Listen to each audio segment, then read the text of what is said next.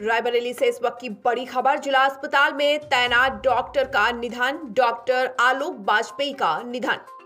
ये इस वक्त की बड़ी खबर, India twenty four into seven live TV पर देख रहे हैं आप रायबरेली से इस वक्त की बड़ी खबर।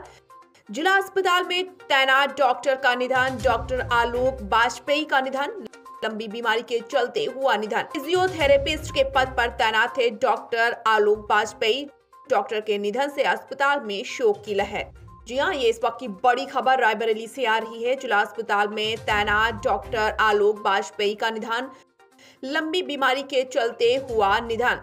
फिजियोथेरेपिस्ट के पद पर तैनात थे डॉक्टर आलोक वाजपेयी डॉक्टर के निधन से अस्पताल में शोक की लहर।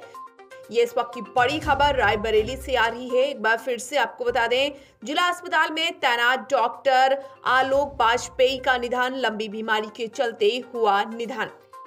फिजियोथेरेपिस्ट के पद पर तैनात थे डॉक्टर आलोक वाजपेयी डॉक्टर के निधन से अस्पताल में शोक की लहर, ये बड़ी खबर रायबरेली से। India twenty four two seven live TV के लिए ब्यूरो रिपोर्ट।